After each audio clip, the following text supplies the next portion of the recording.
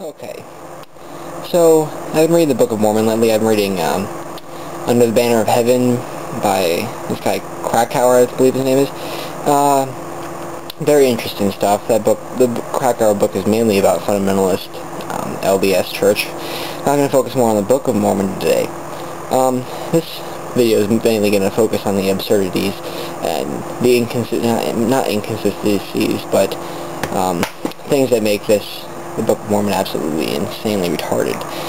Uh, my next video will focus mainly on contradictions, semantics, and uh, changes in the Book of Mormon.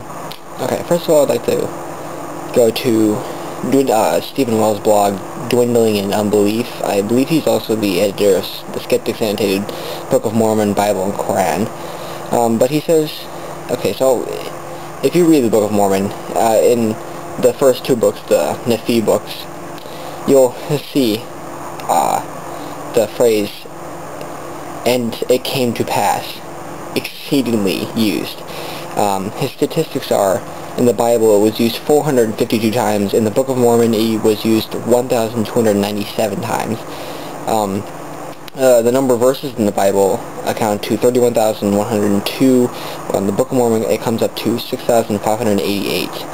That makes it come out to, in the Book of Mormon, the phrase, and it came to pass, was used in 19.7% of all the verses, while in the Bible it was used in 1.45% of all the verses. That That's a lot, if you didn't know that. Um, also, the, the word exceedingly is used 51 times in the Book of Mormon. In fact, three times in one verse. That's Ether 9.16 um, I'd like to just point out one Mark Twain quote, which I'll put up in words so you can see it. Uh, wherever he found his speech growing too modern, which was about every sentence or two, he ladled, ladled in a few such scriptural phrases as exceedingly sore and it came to pass, etc., and made things satisfactory again. And it came to pass was his pet. If he had let, the, let sorry, if he had left that out, his Bible would have been only a pamphlet. That's Mark Twain in Roughing It, chapter 16. Um, I found that on the Skeptic's Annotated Book of Mormon. It's a great site, by the way. Um, I'd like to point out just a few verses. Um, Ether 119 through, or 118 through 19. Uh, let me just get that up.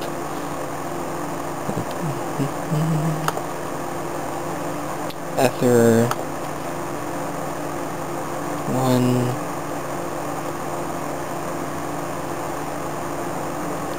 Oh I'm sorry Ether 918 through 919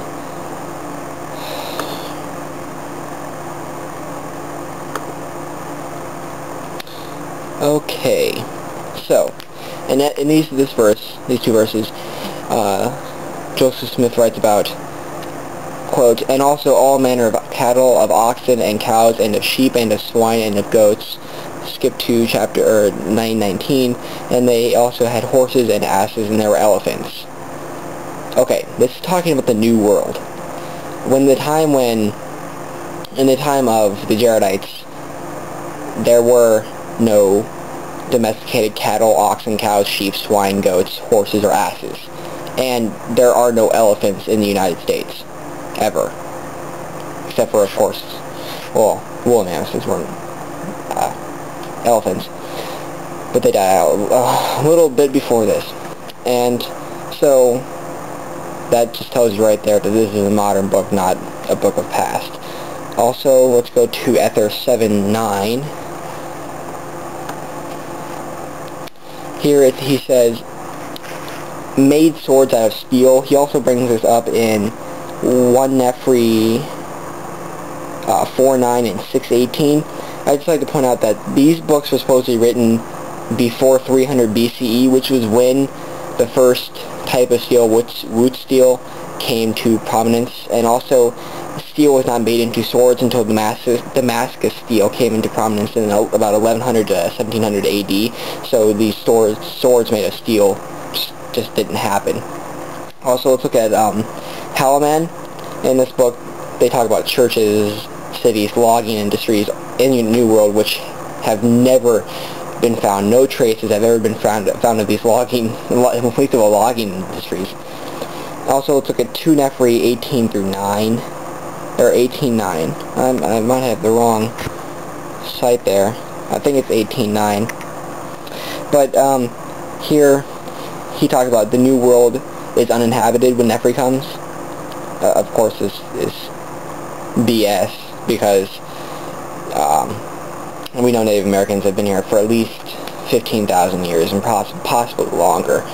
Um, so that just it, it, it's absurd to think anybody would actually believe the Book of Mormon.